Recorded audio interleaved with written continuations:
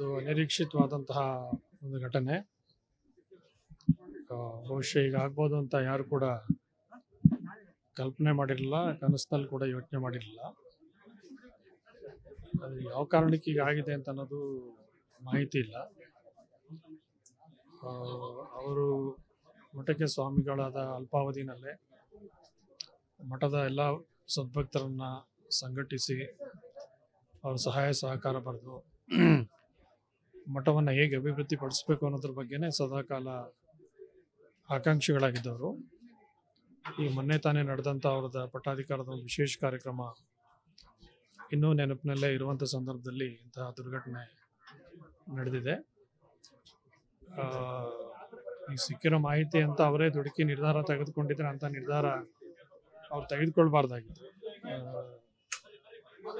ಯಾವ ಕಾರಣಕ್ಕಾಗಿದೆ ಅಂತ ಗೊತ್ತಿಲ್ಲ. ಅವ್ರು ಏನೇ ಮನಸ್ಸಿನಲ್ಲಿ ಅವ್ರ ಬೇಸರ ಇದ್ರು, ಮನಸ್ಸಿನಲ್ಲಿ ನೋವಿದ್ರು ಕೂಡ ಸಿದ್ಧಗಂಗೆ ಶ್ರೀಗಳ ಜೊತೆ ಮತ್ತು ಅವರೆಲ್ಲ ಒಡನಾಟಗಳ ಜೊತೆ ಹಂಚಿಕೊಳ್ಳಲಿಕ್ಕೆ ಅವಕಾಶ ಇತ್ತು.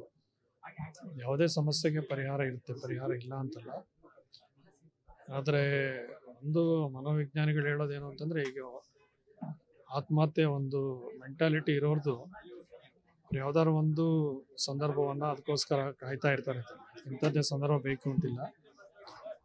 ಮೊದಲನೇದಾಗಿ ಆ ವ್ಯಕ್ತಿನಲ್ಲಿ ಅಂತಹ ಒಂದು ಮನೋಭಾವನೆ ಇರಬಾರ್ದು, ಆತ್ಮಹತ್ಯೆ ಮಾಡ್ಕೊಳ್ಬಾರ್ದು ಅಂತ ಇರಬಾರ್ದು. ಏನೇ ಬಂದರೂ ಧೈರ್ಯವಾಗಿ ಎದುರಿಸ್ತೀನಿ ಅಂತ ಧೈರ್ಯ ಇದ್ದರೆ ಇಂಥ ಘಟನೆಗಳು ಘಟನೆ ಆಗ್ಲಿಕ್ಕೆ ಅವಕಾಶ ಇಲ್ಲ.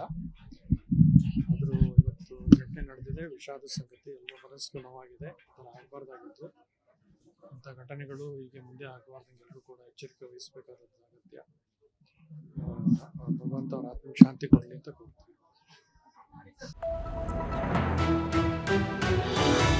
विस्तारा न्यूज़ निखरा जनपरा।